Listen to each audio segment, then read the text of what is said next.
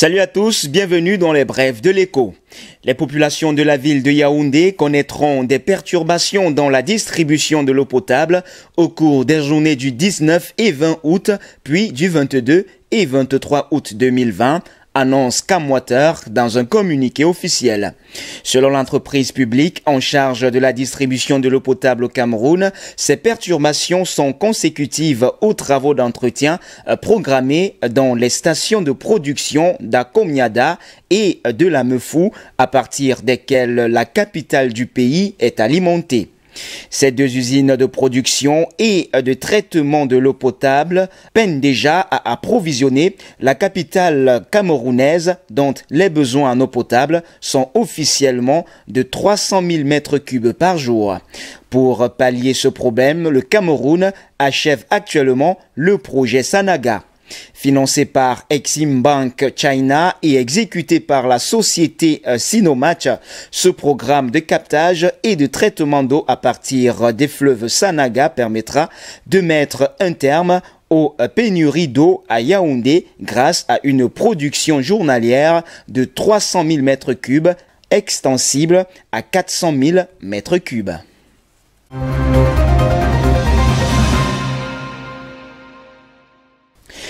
La Société nationale des hydrocarbures SNH, le bras séculier de l'État camerounais dans l'exploitation pétro-gazière vient de rendre public des résultats de six appels d'offres en vue de la fourniture d'équipements pour l'installation de laboratoires informatiques de géosciences pétrolières dans six universités d'État. Ces travaux confiés aux entreprises Shine Service et Communication Engineering System SA seront réalisés dans les universités de Bamenda, Boya, Douala, Chang, Maroua et Ngaoundéré. Les coûts de chacun des contrats varient entre 49 et 63 millions de francs CFA. En investissant ainsi euh, plus de 350 millions de francs CFA dans ces équipements installés dans certaines universités d'État du Cameroun, la SNH entend promouvoir la formation euh, dans les domaines de l'ingénierie pétrolière dans le pays.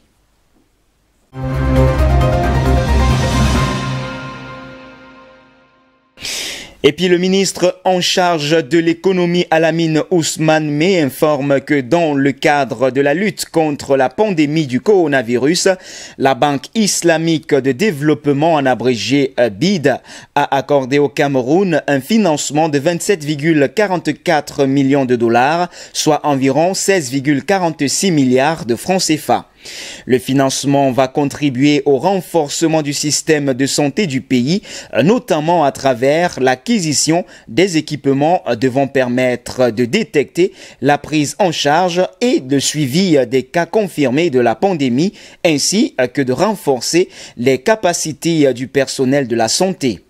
Le ministre de l'économie rappelle que ce financement s'inscrit dans le cadre du mécanisme de préparation euh, stratégique et euh, de réponse mis en place par la Banque islamique de développement au profit de ses pays membres pour atténuer l'impact sanitaire et socio-économique négatif de la pandémie du Covid-19.